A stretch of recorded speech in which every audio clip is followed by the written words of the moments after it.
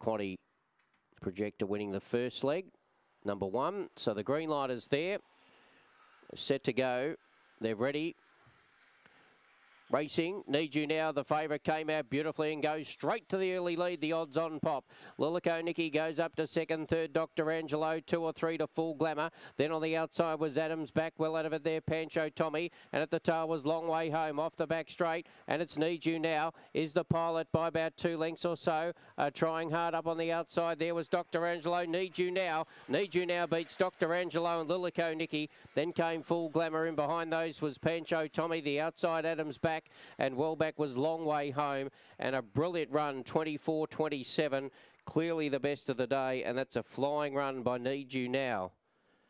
Straight to the lead, was uh, very nicely backed, is held up on the tote maybe here, and uh, number six is the winner for Justin Bowman and the uh, the flight facilities syndicate there, six, seven, two, and three. Six, seven, two, three, and a brilliant gallop at 24 27. The splits were 5, 21, 13, 50.